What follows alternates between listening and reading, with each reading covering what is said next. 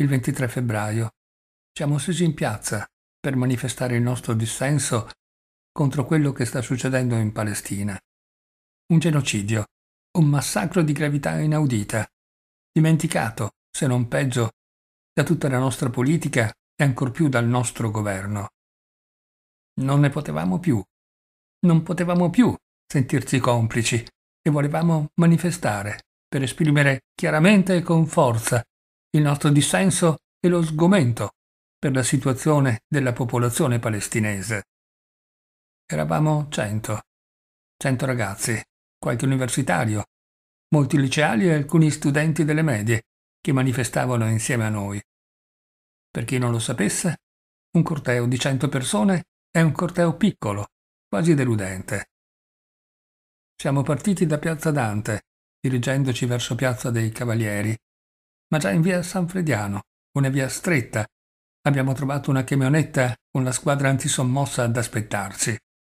Poliziotti con caschi, scudi e manganelli, in riga e compatti, mentre alle nostre spalle ci hanno raggiunto delle volanti della polizia, bloccandoci davanti alla cancellata del liceo artistico. Abbiamo alzato le mani in segno di pace. Abbiamo fatto capire che eravamo pochi e non avevamo nessuna intenzione violenta. Abbiamo chiesto come mai ci avessero bloccati. Non ci rispondevano.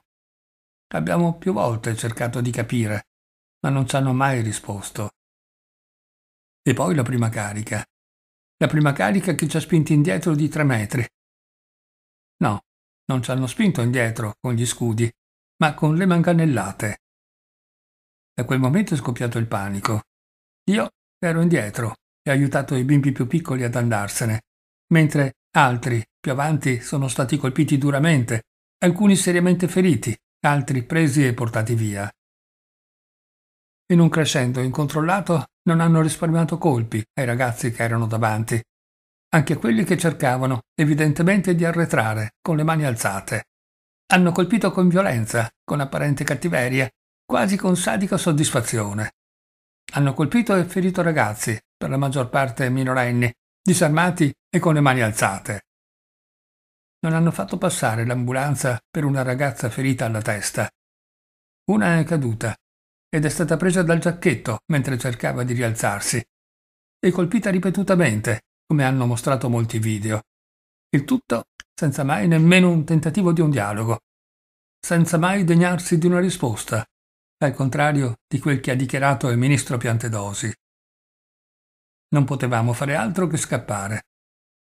E a un certo punto le volanti che ci chiudevano da dietro si sono dileguate e così ce ne siamo andati. Loro ci hanno seguito per tutta via San Frediano e poi si sono fermati. Questo avvenimento ha avuto una visibilità mediatica enorme, con riscontri sia positivi che purtroppo negativi. Abbiamo letto di tutto, sia messaggi di solidarietà, sia falsità, falsità che vogliamo sfatare qui ed adesso. Sì, deputato Ziello, eravamo incappucciati, pericolosi cappucci dei nostri giacchetti e delle nostre felpe. Pioveva e come tutti i comuni mortali ci siamo coperti. No, i poliziotti non ci hanno detto neanche una parola. Non ci hanno ritenuto degni di un dialogo, di un confronto. Non hanno cercato una mediazione. L'abbiamo provato noi, solamente noi. Ma siamo stati bloccati da un muro silenzioso di uomini in divisa antisommossa, considerati bestie da scacciare e schiacciare. E come osate paragonare un poliziotto che è caduto facendosi male a una gamba con 13 ragazzi disarmati al pronto soccorso? Come osate parlare di feriti da ambo i lati, di scontro alla pari? No, non avevamo nessuna intenzione di andare in sinagogo o al cimitero ebraico. E anzi, vogliamo ricordare che noi non siamo antisemiti. Siamo ragazzi che lottano contro le azioni portate avanti dal governo israeliano e da quello italiano.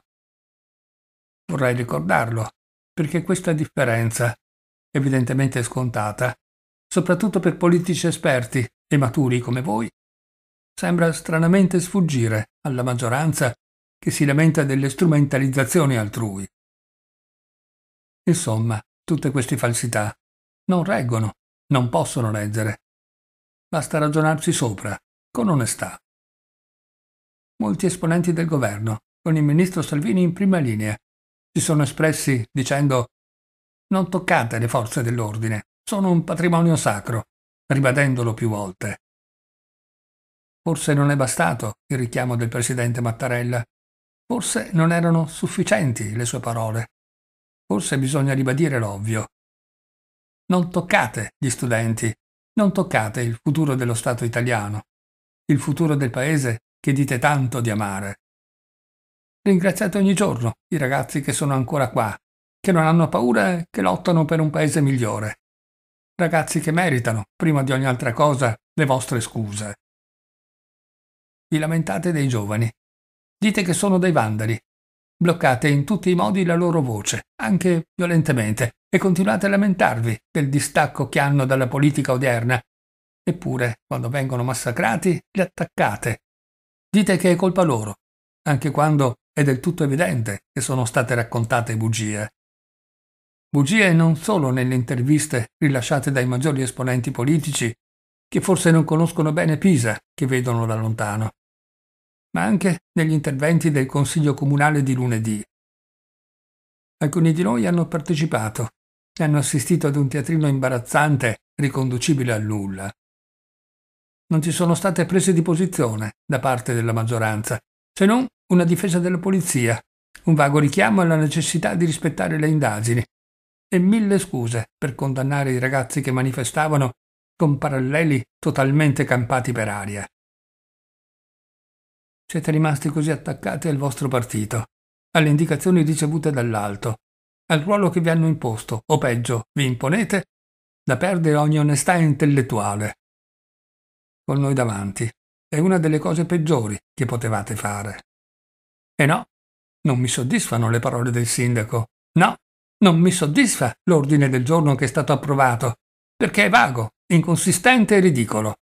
E la cosa peggiore è che ci avete fatto perdere del tutto la fiducia nelle istituzioni cittadine. E questa è una sconfitta, bruciante. Nessuno di noi chiede di andare indietro nel tempo o di dimenticare quello che è successo.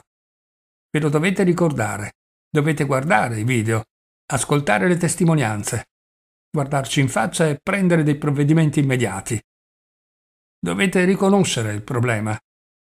Non possiamo accontentarsi di una superficiale vicinanza senza un provvedimento adeguato. Chiudo dicendo che noi non ci fermeremo.